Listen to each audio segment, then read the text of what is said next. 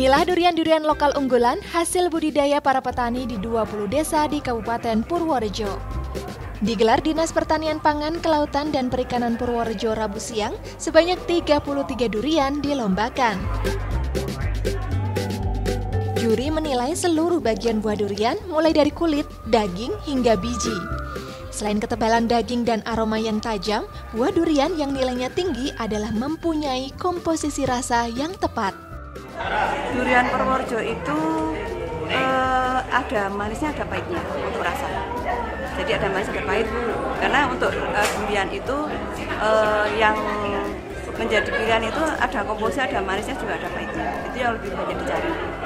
Untuk para mania lebih mengutamakan ada komposisi manis dan pahit.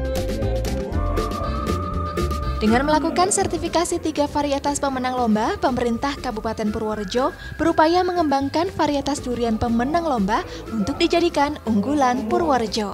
Kegiatan ini diharapkan dapat lebih mengenalkan potensi durian lokal, apalagi Purworejo telah dikenal sebagai kota penghasil durian. Yaitu mencari bibit unggul dan varietas unggul dari 9 kecamatan tersebut.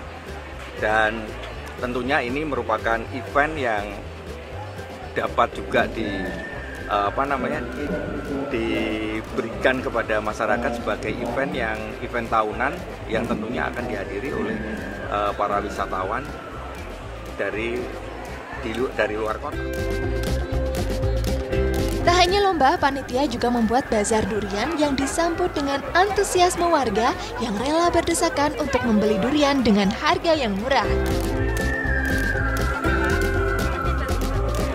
Panitia juga menyiapkan spot foto bersama Putri Durian, yakni dua gadis berpakaian gaun dengan hiasan buah durian.